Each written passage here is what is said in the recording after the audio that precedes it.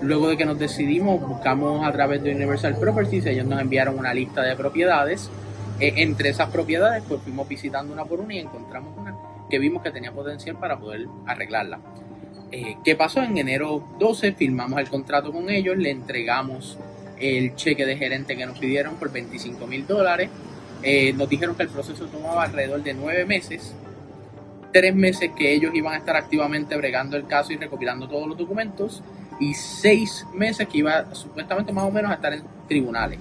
¿Qué pasó? Que un año y medio después nunca hicieron nada y tanto estuvo el caso hasta que ahora San Germán eh, le canceló el contrato a Universal Properties, no nos dieron la casa, no nos dieron el dinero y aún nos están debiendo 25 Esto comenzó en enero del 2022. Sí,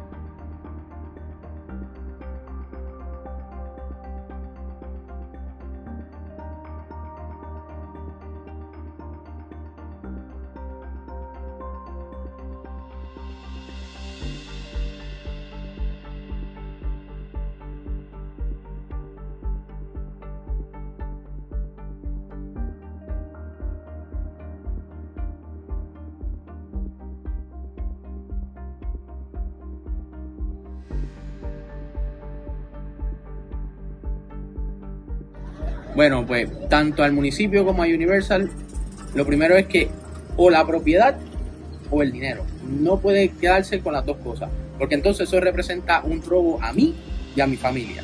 Porque estuvimos ahorrando por 8 años esos 25 mil dólares para que viniera una compañía y nos lo quitara.